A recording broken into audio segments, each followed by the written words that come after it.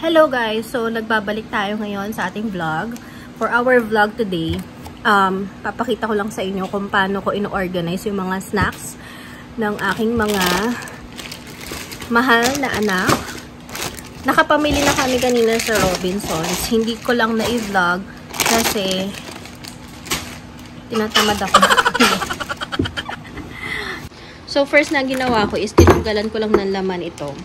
Ito ay lalagyan ng lahat ng mga cookies na hindi bukas. Tapos ito, ayan, magulo pa siya. Anyway, itong lalagyan naman na to, ito yung sa mga, dito ko nilalagay yung mga gusto nilang kainin para para hindi magulo. Ayan, inaayos ko lang siya pag ganyan. So, konti na lang yung natira. Tapos, ito yung mga natira from the last time na nag-grocery kami ng snacks nila. Yung grocery namin today, walang kahalong mga frozen, walang toiletries, ganyan.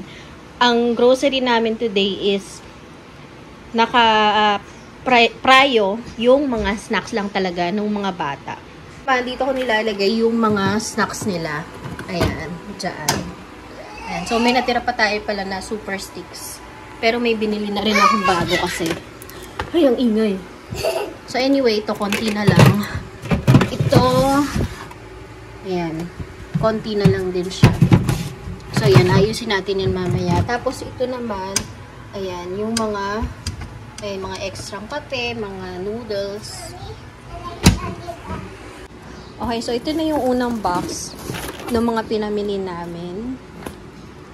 Tapos, ayan. Tsaka, ayan. So, itong ano nga pala namin, itong lahat ng pinamili naming snacks, ang total niya is 4,900. Itong mga snacks na to, tatagal siya ng 1 um, month or more than 1 month. Minsan, mga 2 months ganyan tatagal siya or 2 and a half, ganyan. Ganon siya katagal. So, ayun, kaya ganon yung budgeting namin. Kumbaga, may time talaga na puro snacks lang, may time na puro frozen lang, ganyan. So, depende talaga siya. Hindi kami yung um, sabay-sabay binibili lahat. So, ayun, ayusin na natin isa-isa and yun, unbox na natin kung ano yung mga binili namin. Isa nga pala sa mga ginagawa namin ni Daddy dito, ito, tulad dito, itong lalagyan na to. Itong lalagyan na to is nakalagay ito malapit dun sa may, kasi dito lang sa may kusina namin. Ngayon, itong mga nakalagay dito, ito yung mga kinukuha namin na iba minsan, katulad yung sa mga binili naming biskwit. Naglalagay talaga kami dito ng pangbigay sa mga kakatok dito sa bahay. So, usually kasi, pag kunyari, um, yung bang may manghingi ng tulong, manghingi ng food, dito kami kumukuha. So, ayan, naubos na rin siya. Siguro may binigyan na rin si daddy. O kaya naman minsan, kapag nagko-collect na ng garbage dito sa amin, nagbibigay din kami para at least may merienda sila. Or minsan, kapag ka mayroon kaming delivery galing Shopee, or yung mga ganyan, binibigyan din namin yung mga delivery rider. Wait lang guys ha, kasi meron na namang makulit. So, ngayon, ito muna ilalagyan natin. Maglagay lang tayo ng ibang snacks.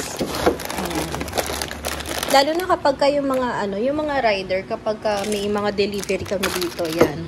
Pag binibigyan namin sila, tuwan-tuwa sila. Siyempre, ano na rin sa kanila, kahit maliit lang, merienda pa rin yan. So, yun, share your blessings.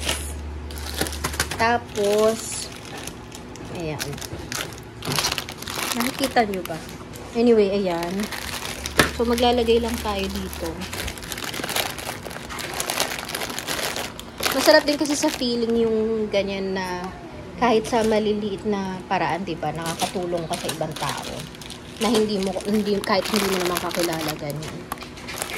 Lalo na kapag ano, pag may mga bata na pupunta dito na yung kakatok tapos manghihingi ng barya or ano pag binibigyan ko nito, sobrang saya nila, tuwan-tuwa sila. So ayun. Okay, so unahin natin itong maliliit. Dito ko muna siyang ilalagay. Ayan. Pati itong lollipop na natira. Kasi ito, ito favorite to ni Olivia. Itong brownie bites. Lagay natin siya. Although, bumili ako ng bago, pero kadalasan, kapag ganyan nag-grocery kami, pinauubos muna namin yung mga natira. Katulad, ayan, may natira. Itong ding dong, ayan, Ito binili namin to last time na nag-grocery kami. Hanggang ngayon hindi pa rin nabubuksan. Dapat sa amin to ni daddy. Pang snacks-snacks namin. Saka ito. Ito nabawasan na to. So, ayun. Tapos, ito Oreo. Meron pa palang Oreo. Bumili rin ako ng Oreo pero meron pa. Ito din. Favorite ito ng kids. Nung nag-grocery kami kanina, maliit na lang ang meron. So, papakita ko na lang sa inyo. Tapos, ito, hindi ko alam ba't hindi nila to masyado nagustuhan. Hmm. Ay! Nalaglag na nga. So, ayan. Hindi nila to masyado nagustuhan. Pero lalagay pa rin natin. Ubusin, kailangan ubusin nila yan. Saka ito. Ito naman, favorite to ni Angelo, itong cheese bar. Meron din akong binili nito extra kasi ang bilis maubos nito sa kanya.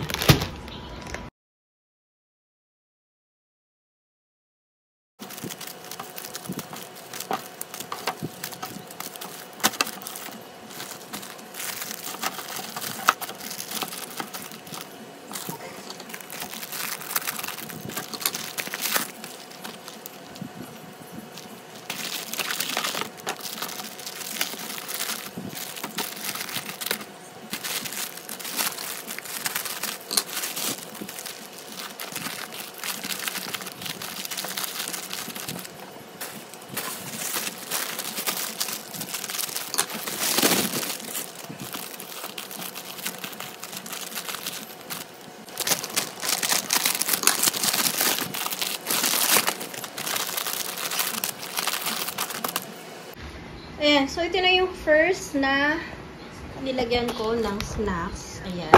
So, bahala na sila mag, ano dyan, maghalukay dyan. Ayan. O, diba? Next naman is lalagyan ko naman itong mga, ito, ito yung mga stock naman. Para pag naubos ko, doon lang kukuha ng panlagay ng bago.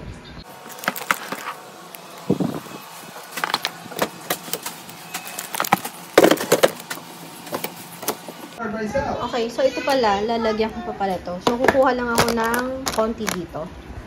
Ayan, so, okay na rin to Lalagay na rin natin dun sa loob mamaya. Okay, so ayan, inayos ko siya. Although, meron pa naman dito. Ayan, hindi pa namin binili. Puro chichirya yan. Pero konti lang naman, hindi naman ganun karami yan. Ayan. Para meron tayong pang thumbnail. Ayan.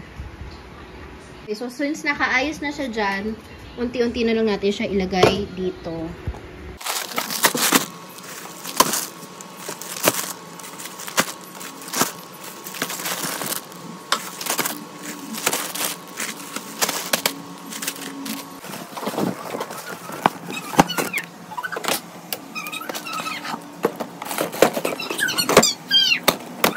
May natira pa dito. Pero mukhang hindi nakasya dito sa ating lalagyan. So, dito na lang natin lalagay sa baba. Wala nalimutan natin. So, tignan natin kung magkakasya pa. Ayan. Ayan, ganun na lang. Tapos itong popcorn, uh, dito na lang sa baba. Although, ayan, namin rin pala nakalagay dyan. Pero, yan. Lagay na natin ang mga cookies.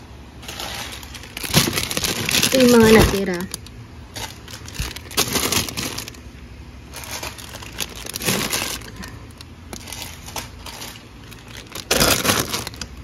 Okay, drinks naman tayo. Okay, so next, itong mga drinks. Itong Bear Brand kay Angelo.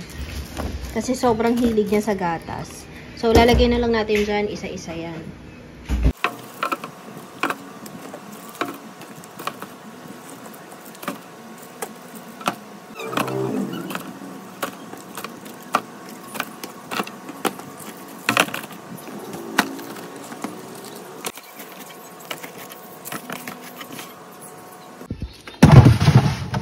Dito natin siya ilalagay. Tapos dito naman sa gilid yung mga fresh milk.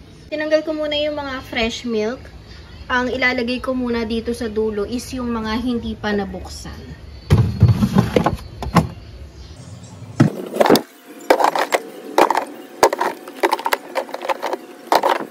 Ayan, so maayos na siya. Puro beverage. Ayan. Tapos ito yung mga debote. Palaman. Ito puro palaman yan. Tapos ito yung mga bottled gourmets. Ayan, may mac and cheese pa. And then, ito yung mga tirang, um, ito na tirang, ano lang to, spam, na piprito pa lang. Tapos ito, yan, lahat ng chocolate nandyan.